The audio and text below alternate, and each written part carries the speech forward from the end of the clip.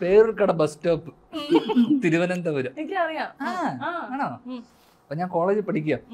അവിടെ തിരുവനന്തപുരത്ത്. പഠിച്ചില്ല അവിടെ പോവില്ല. ഒരു. മാസത്തെ നിർത്തി. നിർത്തി.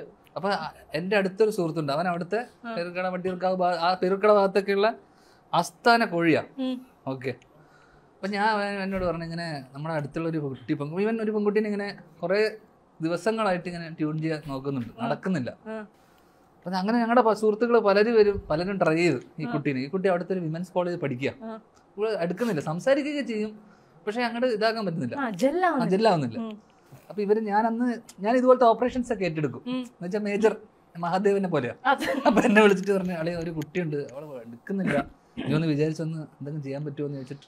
അപ്പൊ ഞാൻ ഈ കുട്ടീനെ ആദ്യം നമ്മുടെ പ്ലേസ് ലൊക്കേറ്റ് ചെയ്യണമല്ലോ ഞാൻ പോയി ബസ് സ്റ്റോപ്പിൽ ബസ് നിൽക്കുന്നു രാവിലെ കുട്ടി പോകുന്ന സമയത്ത് പോകുമ്പോൾ ഇങ്ങനെ നോക്കും. ഓക്കെ അപ്പൊ ഞാൻ ഈ രണ്ട് കൂടെയുള്ള രണ്ട് കോഴികളോടെയാണ് അവിടുത്തെ മെയിൻ കോഴികളോടെയാണ് ഞാൻ നിൽക്കുന്നത് തന്നെ. അപ്പൊ സ്വാഭാവികമായിട്ടും എന്നെ തെറ്റിദ്ധരിക്കണം. അതെ. അവനും അങ്ങനത്തെ ഒരു ഇതിലാണ് മൂന്ന് ദിവസം പോയി. മൂന്ന് ദിവസം ഈ കുട്ടീനെ ഇങ്ങനെ നോക്കി പോയി. ബസ്സിൽ കയറി പോയി അങ്ങനെ ഈ വിമൻസ് കോളേജിൽ ഞങ്ങളുടെ ഒരു സുഹൃത്തിന്റെ കാമുകി അവിടെ പഠിക്കുന്നുണ്ട്. വേറെ വേറെ. അപ്പൊ ഞാൻ അവൾ അപ്പം ഐ കോണ്ടാക്ട് പോലും തരുന്നില്ല ഈ കുട്ടി.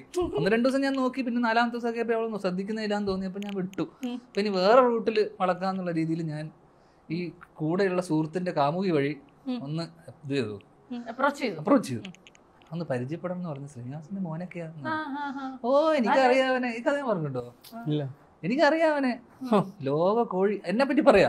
ഈ കുട്ടി. കറക്റ്റായിട്ട് പറഞ്ഞൊക്കെ ലോക കോഴി അവൻ അന്ന് അവിടെ അവന്റെ ഒരു ചുവന്ന ഡ്രസ്സും ബ്ലൂ പാന്റും മറ്റേ ഈ ബാഗും മറ്റേതും മറിച്ചതും ഇതൊക്കെ ഇട്ടിട്ട് എല്ലാ ദിവസം കാര്യം രണ്ടാം ദിവസം വന്നപ്പോഴും ഞാൻ കണ്ടായിരുന്നു മറ്റേ മറ്റേ മുടി. അപ്പൊ എനിക്ക് കുറച്ച് മുടിയൊക്കെ വളർത്തിരുന്നു മുടിയും മറ്റേ അവൻ എന്താ ശേഷം എന്നെ അങ്ങ് ഇൻസൾട്ട് ചെയ്ത് കിടന്നു അപ്പൊ ഞാൻ എനിക്ക് ഈ മൂന്ന് ദിവസം നിന്ന സമയത്ത് എന്നിട്ട് ഞാൻ ഇവളെ പിറ്റേ ദിവസം ഞാൻ ബസ് സ്റ്റോപ്പിൽ പോയി കണ്ടു. കണ്ടതിന് ശേഷം ഞാൻ ഇവളോട് പറഞ്ഞു ഈ മൂന്ന് ദിവസം എനിക്ക് ഇവിടെ മുഖം പോലും എനിക്ക് രജിസ്റ്റർ ആയിട്ടില്ല. ഓക്കെ പക്ഷെ ഞാൻ ഈ രണ്ട് ദിവസം പോയപ്പോഴുള്ള ഞാൻ ഇട്ടിരിക്കുന്ന പാന്റ് ബെൽറ്റിന്റെ കളറ് ബാഗ് ഇട്ടിരിക്കുന്ന ഷഡിയുടെ കളർ അടക്കം ഇവിടെ പറഞ്ഞു. ഓക്കെ അപ്പൊ ഞാൻ ഇവിടെ ചോദിച്ചു നീയാണോ കോഴി അല്ല ഞാനാണോ കോഴി എന്ന് വെച്ച് കഴിഞ്ഞാൽ ആ- ഗ്യാപ്പിലൊക്കെ നമ്മളെ നോക്കിയിട്ടുണ്ട് കുട്ടി. ഞാൻ പോലും ഇവിടെ നോക്കുമ്പോൾ നോക്കിയിട്ടില്ല. അപ്പൊ ഞാൻ പറയുന്നത് പെൺകുട്ടികളുടെ വായനോട്ടം ആ അത് അപാരമാണ്.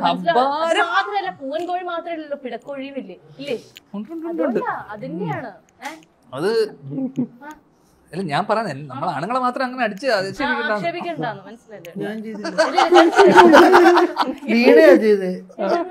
അല്ല ഞാൻ ചോദിച്ച ധ്യാന്റെ കാര്യം അയ്യോ സിനിമ സിനിമയുടെ പ്രൊമോഷൻ ആണല്ലോ പ്രകാശം പറക്കട്ടെ. അതന്നെ, ജൂൺ